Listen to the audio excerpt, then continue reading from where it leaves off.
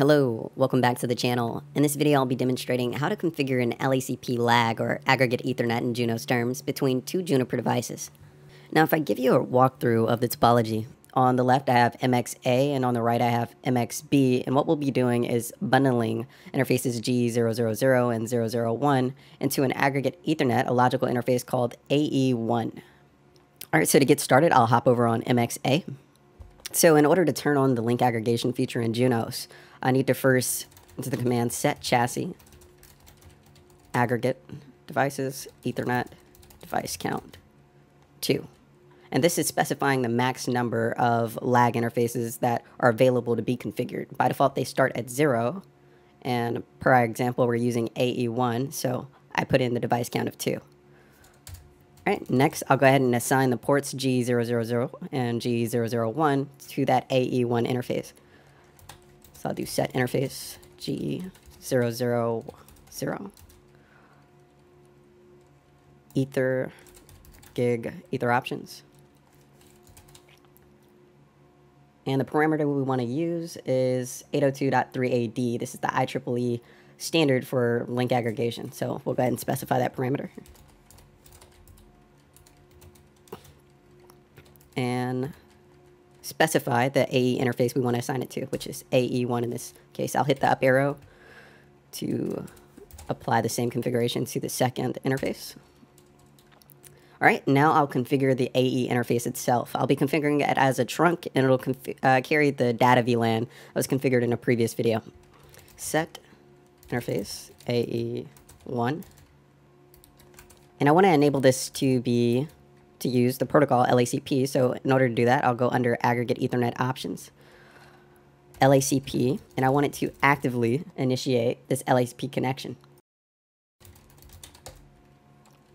All right, now that that's set, I'll configure the logical unit on this interface as a trunk port.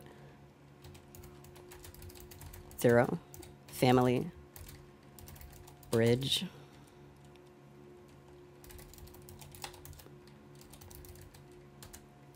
All right, set. I'll hit the up arrow to specify the VLAN that's going to be carried over this trunk port.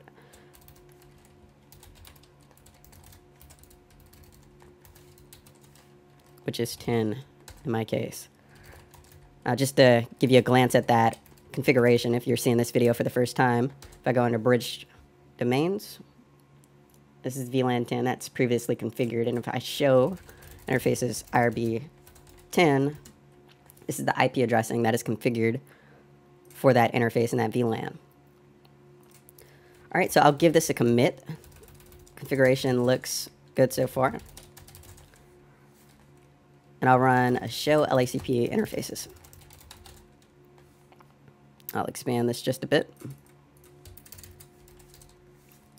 All right. So for the GE000 interfaces that have the role of actor, that is the local interface. And we can see that it's in an active state. Uh, right now, it's not distributing, collecting, or synchronizing because the other end is not configured, uh, hence why the state is detached. All right, so we'll hop on MXB and apply the same configuration. Edit. I'll go ahead and turn on the feature.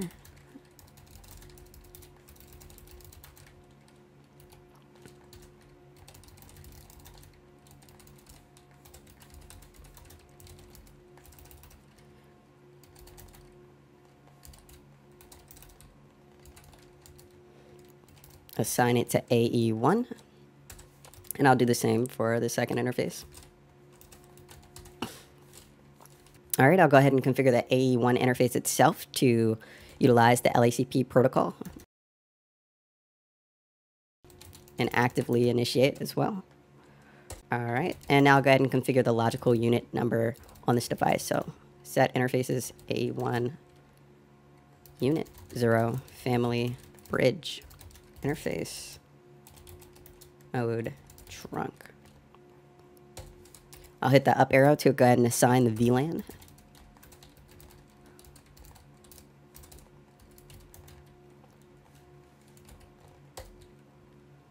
All right, I will see what all I have. All right, so I've enabled the maximum number that I need for this example. Assign the interfaces to it, configure it to be an active LACP member, and it's going to carry VLAN 10 across its trunk link. All right, so I'll go ahead and commit and quit the configuration. And now on MXB, if I give it a show LACP interfaces,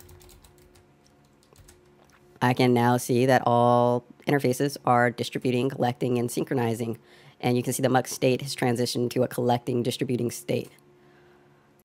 So now with this configuration in place, I should be able to ping the IP address signed in VLAN 10 on MXA. If I do a show configuration interfaces IRB.10, I can see the local IP address assigned on MXB. Now MXA has the IP address of 10.0.0.1 in that respective VLAN. So if I issue a ping, we can see we have round trip connectivity. All right, this is the end of the video. I hope you found this video informative. If you did, go ahead and smash that like button and subscribe to the channel. As always, thanks for viewing, and I'll see you in the next one.